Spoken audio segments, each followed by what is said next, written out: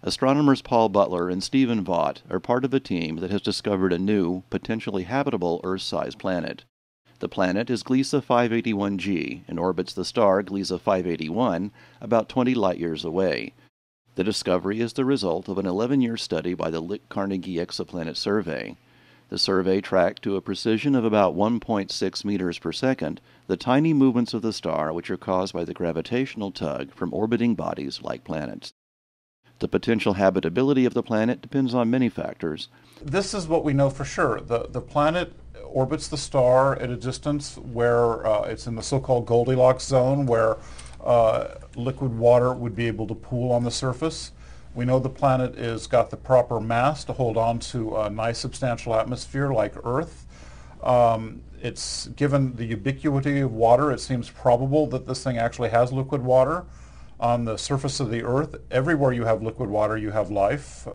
The amplitude and phasing of the star's subtle gravitational reactions allow researchers to determine a planet's mass and orbital period. The planet's radius is estimated by making assumptions about its composition, and its surface gravity is calculated from its mass and radius. Astronomers can also determine the planet's equilibrium temperature, which is the balance between the energy emitted from the planet and the thermal energy received from the star. This planet is tidally locked to its star. So it keeps the same face pointing at its star all the time, just the same way that the moon keeps its same face pointing towards the Earth. It's tidally locked to the Earth.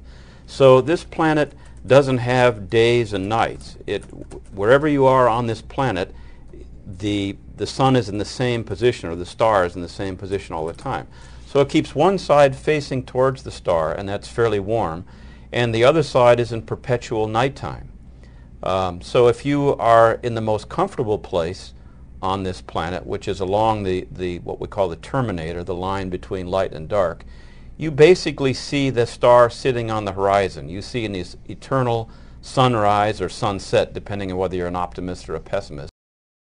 And because Gliese 581 is an M dwarf star, it has a lifetime of hundreds of billions of years, much longer than the expected life of our sun and in particular on this planet because it orbits a star that's essentially immortal and, uh, and the surface is so extraordinarily stable, being tidally locked.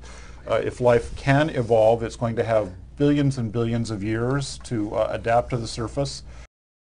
Because only a fraction of stars within 100 light years of Earth have been examined, the relatively early detection of Gliese 581g indicates that habitable worlds may be quite common. There's only two things that go in right now to finding these habitable planets around M dwarfs, and it's measurement precision and telescope time. Uh, the, the precision just now has reached the point where we can find these things. These things are going to be very common. I mean, you have to remember uh, it was only 15 years ago that any planets were discovered at all, and we very quickly went from zero known extrasolar planets to hundreds.